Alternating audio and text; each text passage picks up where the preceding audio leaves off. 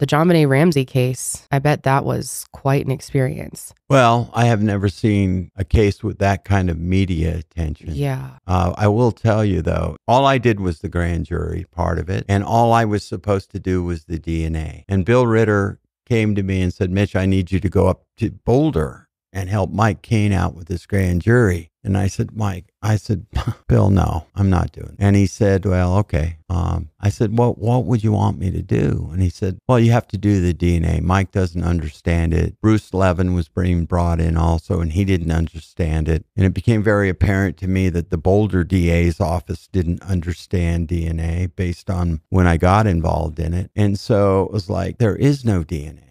That's how early on it was. And he said, Well, yeah, that's why it's perfect. Just go up there. And Yeah. I had just finished a death penalty case. We did not get the death penalty, where within a month of the JonBenét Ramsey case, a little African American girl named Ashley Gray had been murdered down on five points. A man had taken her out of her house. She was with another little girl, JonBenét's age. He took these two little girls out the back while the father was out on the porch smoking crack cocaine and he kidnapped these girls. The brother of the other girl got him away. And then he took Ashley down to a loading dock near Coors Field and he brutally raped her, strangled her to death, and threw her in a dumpster. And she was found in the dumpster the next day.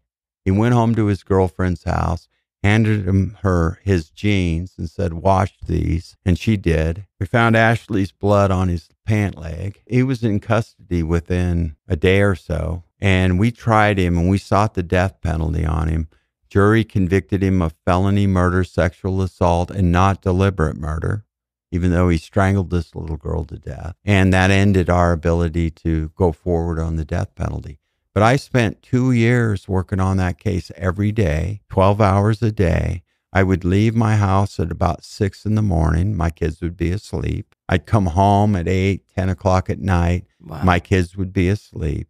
It Mm. was the longest trial I ever had, and I never saw my kids awake for two years. So Oh, I'm getting horrible. asked to do this Ramsey case. You're probably thinking, here we go Yeah. again. Here we go again. Yeah. Is it Yeah. worth it? Yeah. And do, does my wife let me do this? Do my kids deserve this kind of thing? And so I said no. And I, you know, I love Bill Ritter. He was a great guy. He was a great boss. I tried murder cases with him when we worked for Norm Early together. hmm Uh, he was a great guy to try cases with. Some people don't like him because they don't like the way he was the governor of Colorado. I don't care about that stuff. He's a great guy. But I told him no. It was the only thing I ever told him no about. Uh, but then Mike Kane, he knocks on my front door and I'm watching my two kids and he, he says, Mitch, can I talk to you?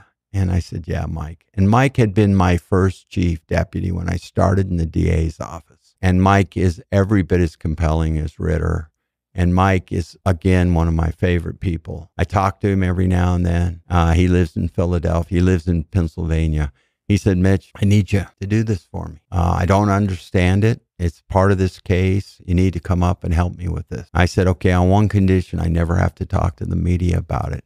I never have to talk to anybody about it. And he said, absolutely. Alex Hunter will do that. We won't talk to the media. You know, you don't have to do any of that. So I went and got all my hair cut off and I got a pair of sunglasses. They were starting like, you know, the next week. Wow. So it really, Yeah. So I changed the way I looked, got sunglasses, yep. and I'll never forget the first day I was on the job.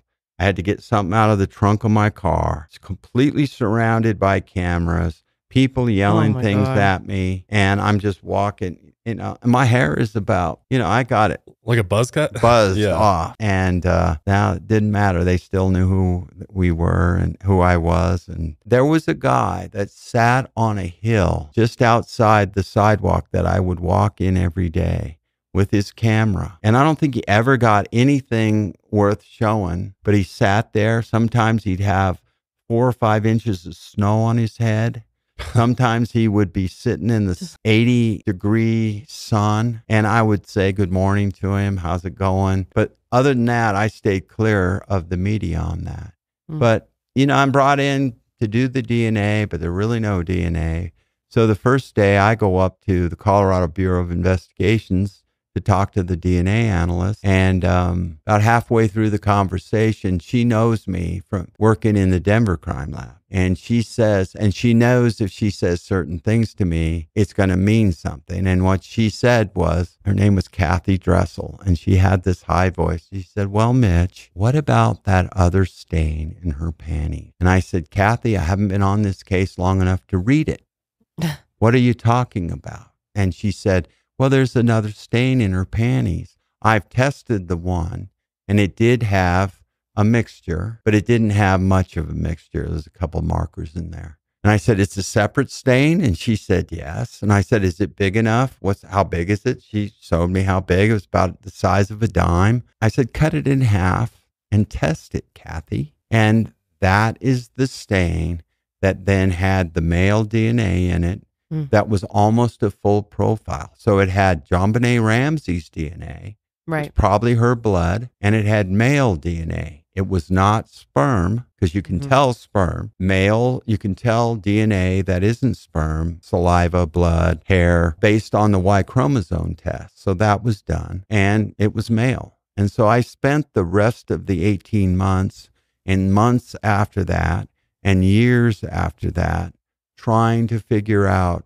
whose DNA this is. Because remember, it's in this little girl's panties. Right.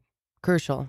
Yeah, it is an intimate, what we call an intimate sample. Mm. It, you know, in a rape kit, when you do a rape examination, you take evidence out of off the victim's body and from inside the victim's body.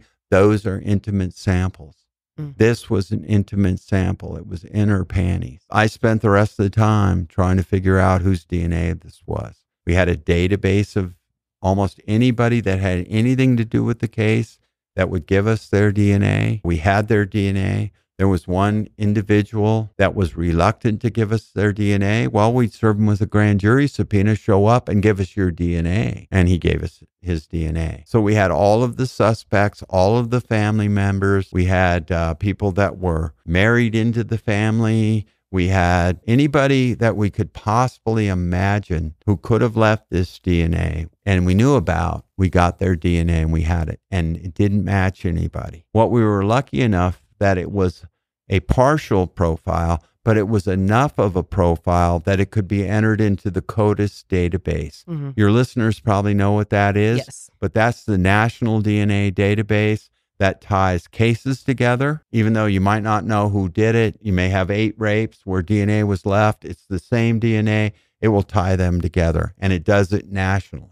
Then it connects you with convicted felons or convicted people or arrestees, depending on the state laws that are in the database. So, guys that are in prison, guys that are on probation for felonies, it will hook you up with those people and you know it's their DNA. And that's how CODIS works. And it has been running in CODIS since we put it in, I think it was 25, almost 30 years ago. And it has never matched anybody in CODIS and it has never matched another case that's in CODIS.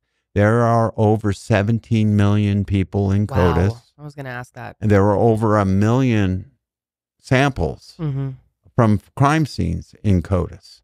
And it has never matched anybody in CODIS. And it continues to this day to run constantly. It's not something that you have to trigger, hmm it runs and it's comparing all the time. So as people are being added to that database, maybe someday there will be a CODIS, what they call a CODIS hit.